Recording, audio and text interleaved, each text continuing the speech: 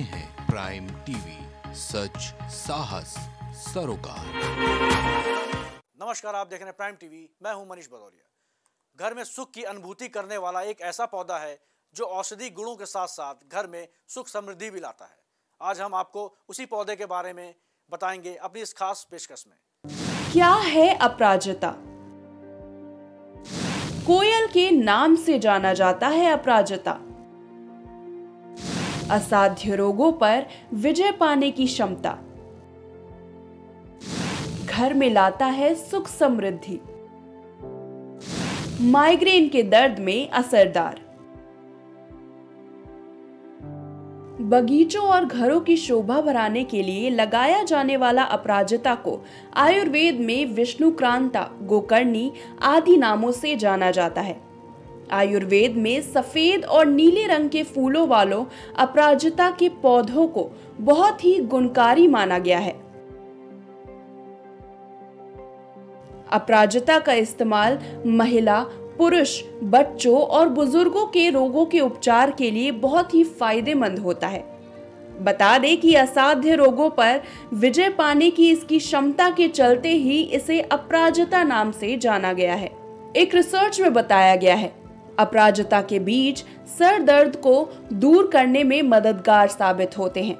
इसके साथ ही दोनों तरीके की अपराजिता बुद्धि बढ़ाने वाली वात, पित्त, कफ को दूर करने में मदद करती है। जानकारी के मुताबिक अपराजिता के इस्तेमाल से साधारण से लेकर गंभीर बीमारियों का इलाज किया जा सकता है। ये शरीर के कई अंगों में होने वाले सूजन के लिए भी फ़ायदेमंद माना गया है। एक रिसर्च के मुताबिक अपराजिता की फली, यानी बीज और जड़ को बराबर भाग में लेकर पानी के साथ पीस ले। इसकी बूंद नाक में लेने से आधा सीसी में फ़ायदा होता है। अपराजिता की जड़ को कान में बांधने से भी फ़ायदा मिलता है। बता दें कि बीज जड़ और फली को अलग अलग भी आप इस्तेमाल कर सकते हैं। इतना ही नहीं, अपराजिता बीमारियों के इलाज में रामबाण साबित है। आगे हम आपको बताएँगे कि सफ़ेद अपराजिता और पुनर्वा की जड़ को पेस्ट में जौ का चूर्ण मिलाकर अच्छी तरह से घोट ले और इसकी बाती बनाकर सुखा ले। इस बाती को पानी से घिस कर अंजन करने से आँखों से जुड़ी सभी बीमारियों में फ़ायदा मिलता है। एक शोध में कहा गया है कि पेट की बीमारी में अपराजिता का इस्तेमाल काफ़ी असरदार है। आप आधा ग्राम अपराजिता के भुने हुए बीज का चूर्ण बना ले और इस चूर्ण को धीमी आँच पर भून ले या एक से दो बीजों को आग पर भून ले।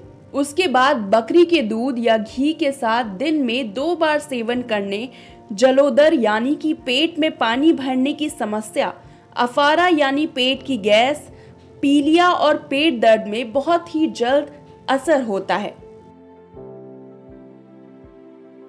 जैसा कि सभी को पता है कि तनाव और अवसाद के कारण माइग्रेन की समस्या होती है। इसीलिए अपराजता का इस्तेमाल माइग्रेन की समस्या और उसके लक्षणों से राहत पाने के लिए किया जा सकता है।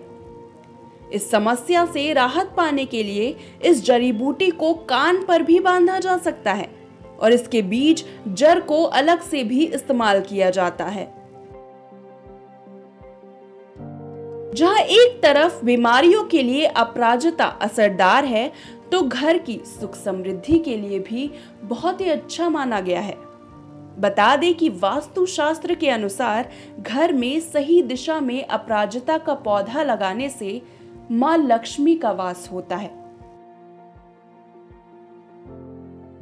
इसके साथ ही भगवान विष्णु, शनिदेव और भगवान शिव को अपराजिता का नीला फूल चढ़ाना शुभ माना गया है।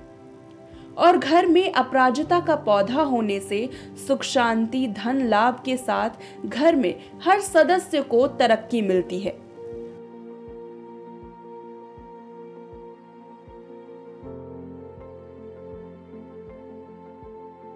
फ़िलहाल इस महत्वपूर्ण कड़ी में बस इतना ही।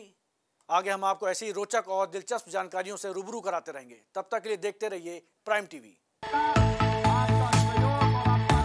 कुछ